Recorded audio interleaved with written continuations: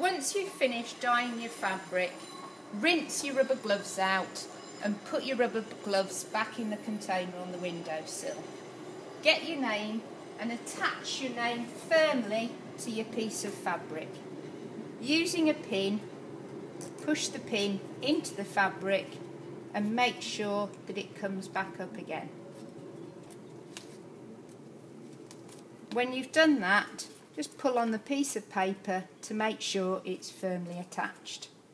Next lesson, your fabric will be in your plastic wallet ready for you to sew.